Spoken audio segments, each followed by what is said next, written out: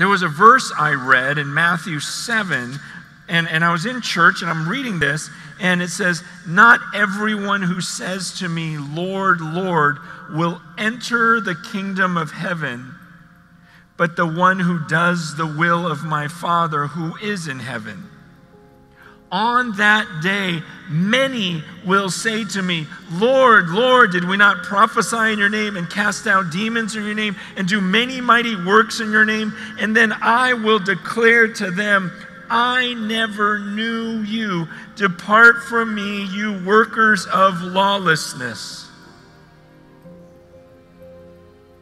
Man, when I read that passage, I, I remember just sitting in a church service and looking around at all the people in the church, and I started thinking, wait, but what God says is not everyone who just says to him in the end, Lord, Lord, is going to enter the kingdom of heaven. It says it's the one who does the will of my Father who is in heaven. And he says that on that day, many, Many people, many will say to me, Lord, Lord. Okay, so these are people that probably attend churches that know about the Bible, maybe believe that they're actually saved, and they're it's like a shock when they go, Lord, Lord, here I am. And, and, and they're even going to name things that they did. Didn't I prophesy in your name? Didn't I preach in your name? Didn't I cast out demons in your name? Didn't I do this, this, this, this? And then God will declare to them, Depart from me, I never knew you. You workers of lawlessness. Could anything be worse? Than coming into the presence of that holy God that I talked about this morning. Let's say this is the last day of your life. It could be. I've done conferences like this where someone died during the conference and say, it's the end, and you come before that God. Could anything be worse than to hear, Depart from me? I never knew you. Guys, this is about the end. We all go somewhere.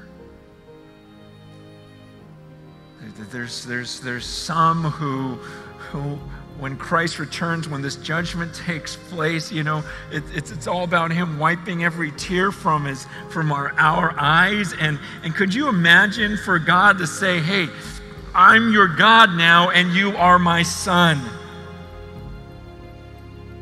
Could there be anything better than that? I mean, you're going to hear one of two things. Well done, good and faithful servant, my son. Or depart from me, I never knew you. I know you went to youth group. I know you went to church. I knew your parents. I knew some of your friends.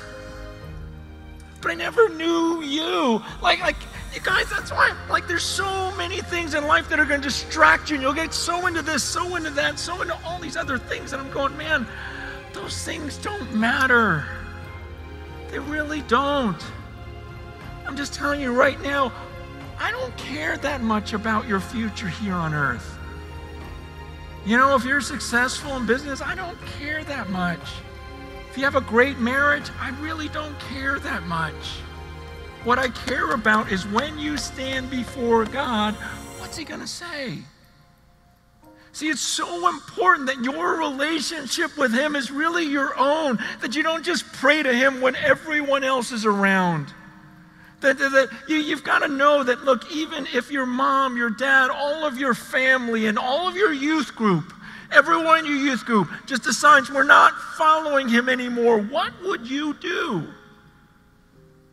Seriously, imagine everyone you love walking away from Jesus. What would you do? You're picturing that? Would you at that moment go, man, mom, dad, I, man, I'm so sad for you guys. And we miss all the whole youth group, but you know what? I love him. I can't leave him.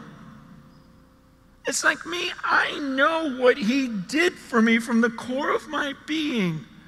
And I can't leave him because I personally love him. And I know him. And he's known, and I'm known by him.